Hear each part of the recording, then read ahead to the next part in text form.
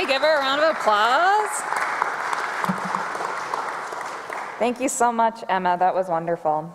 Uh, welcome, good morning to our daily chapel this morning. I am the pastoral intern for the year, Tori Reamer. I work alongside Pastor John and Pastor Babette and Janice as well. Um, there's some announcements in the bulletin. I won't read them all, but feel free to take a look at them. There's some scholarship opportunities as well as some upcoming events that we have. Uh, we also welcome the baseball team with us here this morning as we celebrate your season. Um, even though it's still winter outside, we know that spring is quickly approaching. So, with that, let us center our hearts and our minds and our spirits for worship this morning, channeling the divine in whatever way you experience it.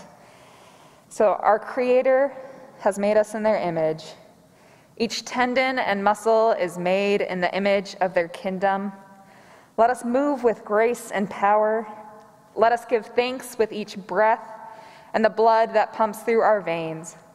Let our acts and movements serve as a reminder that the divine has made all things good. Amen.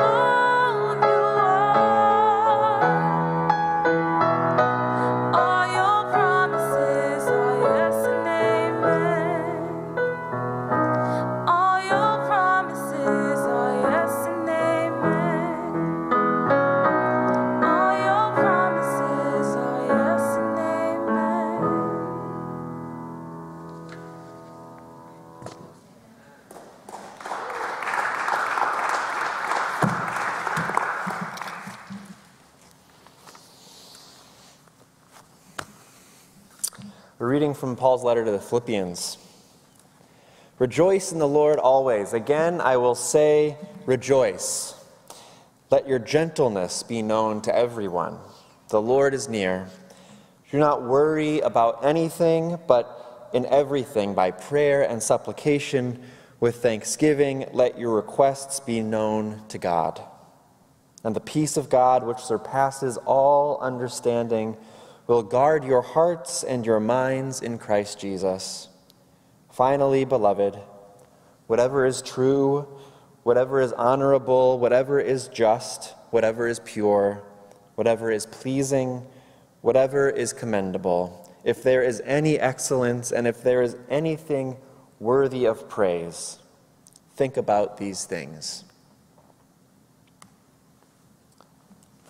Well, welcome again to the baseball team and everybody else. I'm Pastor John, as Tori mentioned, and it's so good to have you here.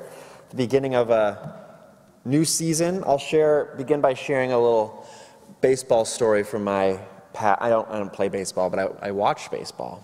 And a traumatic events in my life happened on October 14th, 2003. Cubs versus Marlins, playing at Wrigley Field in Game Six of the National League Championship Series. Cubs were leading the series 3 to 2, and we're leading this game 3 to 0. The top of the eighth inning. Cubs starting pitcher Mark Prior had thrown 100 pitches, three hits, zero runs. Pretty solid game so far, one out. And on a one on one count, Prior throws a fastball to Marlins batter Luis Castillo, who hits a fly ball into left field foul territory. Cubs outfielder, Moises Alou, runs to the wall and rises up as he had done so many times before to get an easy grab before the ball landed on the other side of the wall, which would have been the second out, which would have meant four outs away from the Cubs winning the series, winning their NLCS pennant, uh, first one since 1945, getting the World Series for the first time since 1908. Big moment, just got to catch that ball, right? You know this is probably not going in the best direction because Alou's glove, he was there. It was in the perfect place to get the ball. Anybody know what happens next? Bartman, right? That, I hear you say that, Keith? Yeah. In the frenzy of those Cubs fans, they could grab that historic foul ball, and one set of hands in particular got in the way and deflected the ball from the path, which would have inevitably ended right in Alou's glove. And Alou comes down to earth and he takes off his mitt and he just throws it to the ground. He's so angry. And we come to learn pretty quickly that the hands of the one who deflected the ball was named Steve Barton. Steve Bartman. And as you would predict, all hell breaks loose. Moises Alou was angry. The crowd is booing this poor guy. And he just sits there in this seat, just crouched and embarrassed and shamed. And in case there was any doubt, for those of us watching at home on Fox, every about 10 seconds, close up of this guy's face, you know? And the next morning, front page of the Chicago Tribune, zoomed in, a pixelated photo of this poor guy just screwing up this easy catch. Because what happened next? Well, after this easy out was missed, Cubs pitcher Mark Prior throws a wild pitch, walks the batter, advances the other runner to third, and he continues having a like complete meltdown on national television and loses eight runs in the rest of the inning. Cubs lose the game eight to three.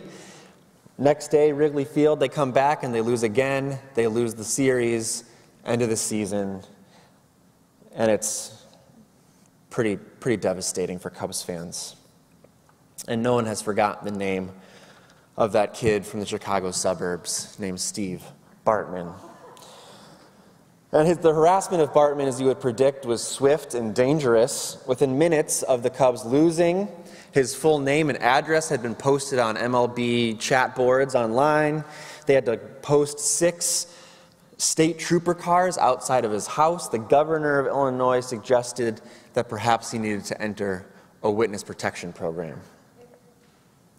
And what is that? You know? Baseball is supposedly this game of beauty and grace and perfection. And yet, baseball fans can be murderous. I think to think about that sacred ground, that baseball diamond, right? It's long been thought of as this neutral space where traditions and rules and norms bring this sacred sense to the space, this kind of opportunity for a perfect game, right?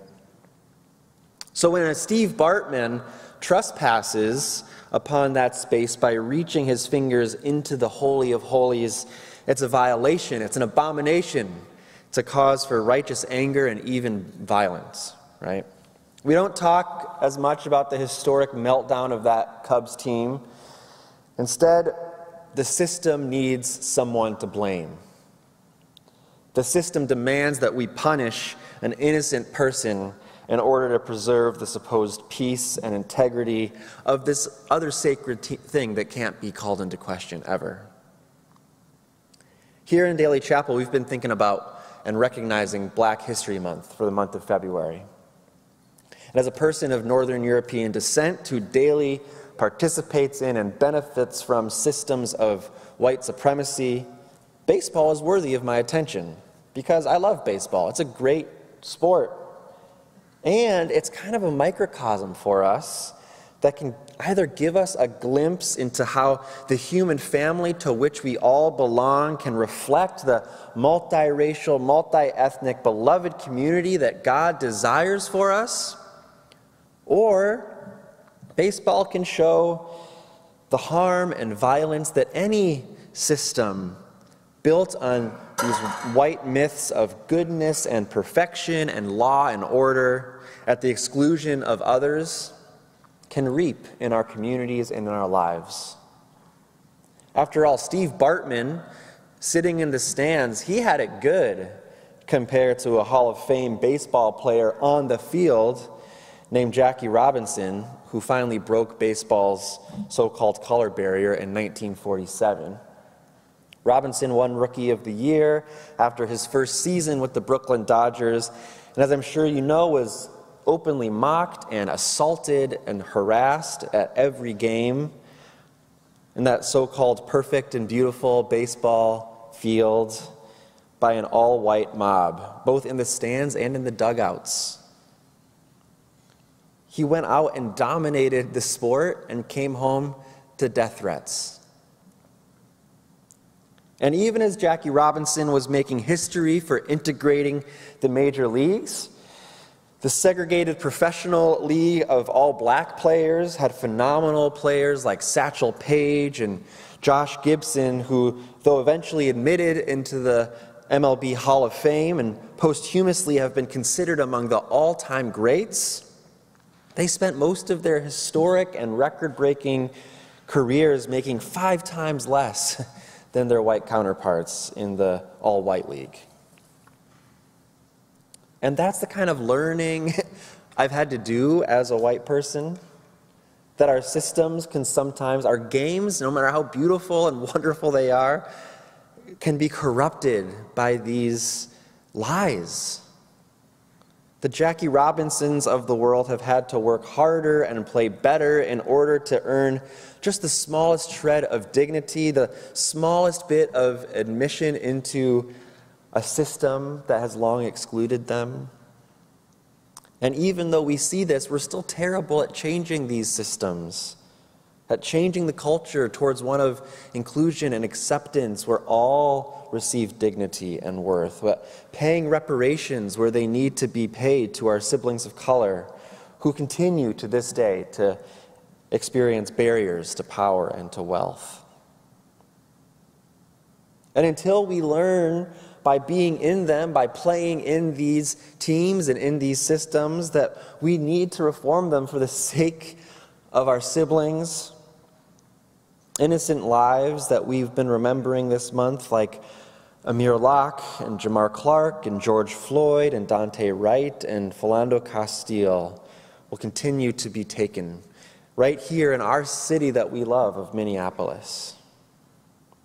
And then the system will go about not thinking of itself critically, but thinking about the bad apples, you know, and then kind of criminalizing these young men who were killed for being sort of deserving of the horrible, the horrible deaths that they died. And I bring all this up on Baseball Blessing Day simply to invite and, and celebrate these baseball players of Augsburg to know that you are on this beautiful field in a beautiful game, but you're also leaders there, participants within a system that it's within your power to nurture and tend and cultivate as a space for dignity and joy, equity and grace. As we heard in our scripture, let your gentleness be known to everyone. Rejoice always. Gentleness, joy.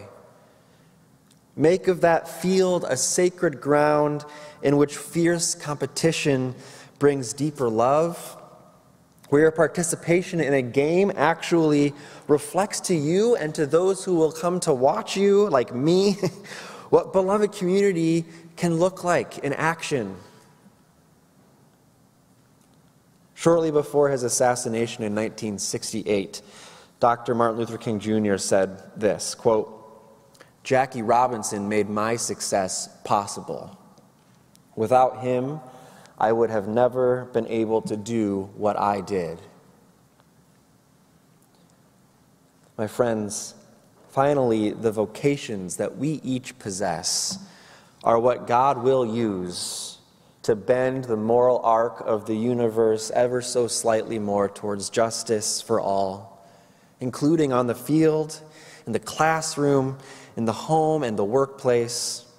God is meeting you and each one of us there, calling us to lives of meaning, joy, and justice for all, using us to dismantle every system that yields inequity and to replace every myth of supremacy with the sacred and holy truth of the inherent love, dignity, and worth of all of God's people.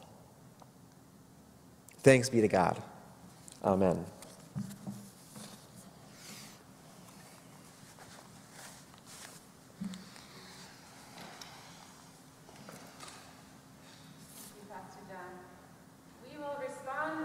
light of mine, and we're going to sing this little light of mine. I'm going to let it shine, and then we're going to sing all around the bases. Um, I am a baseball mom. I'm a huge fan, and um, it's so fun to have you here. I'll probably see you out on the field with my two sons. Here we go. Let's stand, yeah. This